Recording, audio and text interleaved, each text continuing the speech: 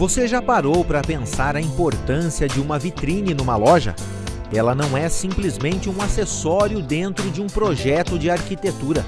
De acordo com pesquisa divulgada pela Popai Brasil, a visão é responsável por 83% das decisões de compra do consumidor.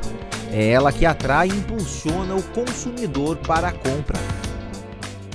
Vitrines coloridas e cheias de objetos. Promoções por todos os lados. Vale tudo para atrair a atenção do consumidor. Vale também a oportunidade para deixar a sua loja mais atraente. Mas até que ponto isso influencia na hora da venda?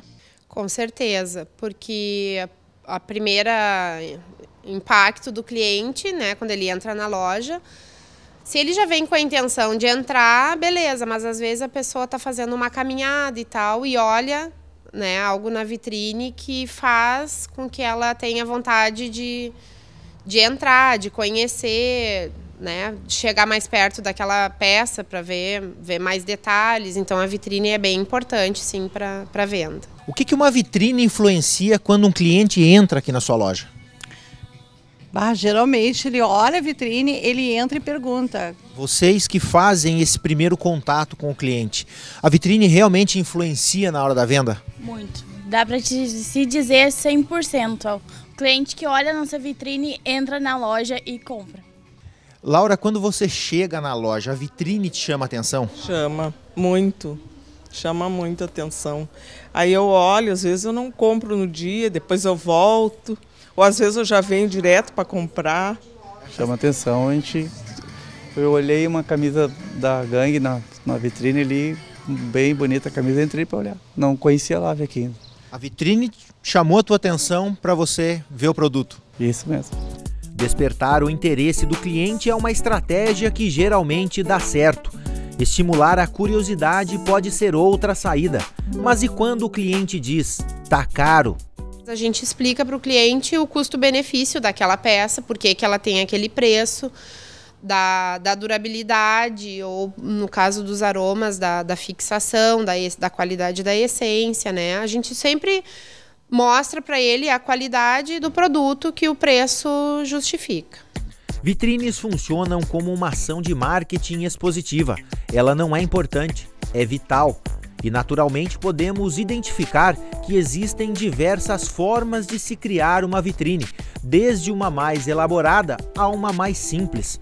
Mas a visível parte frontal de uma loja é sempre um ótimo cartão de visitas. Primeiro, a gente sempre uh, expõe os produtos uh, de acordo com a diferenciação do produto. A gente sempre, aqui a Eureka é mais exclusividade, a gente trabalha com exclusividade. Então a gente gosta, a gente valoriza muito da prioridade de produtos diferentes e que não tem em outras lojas. A disposição do, dos objetos, né? A gente procura colocar uh, as coisas agrupadas por estilo, por cor tudo tem preço, é tudo bem acessível, não tem nada que o cliente precise me pedir, ah, posso dar uma olhadinha em tal coisa, porque está tudo exposto de uma forma que ele tenha acesso direto, né? inclusive com a etiqueta com o preço.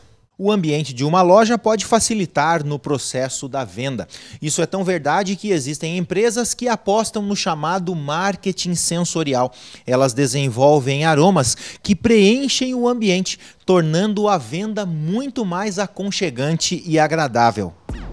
O ponto de vendas tornou-se um espaço de experiências, onde a compra vira uma consequência do resultado obtido através da experimentação de tudo que está disponível nesse espaço.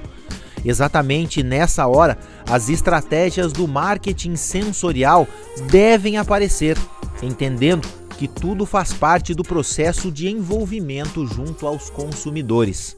Ah, com certeza, a gente sempre Uh, o nosso principal objetivo é que o cliente saia daqui uh, satisfeito e feliz.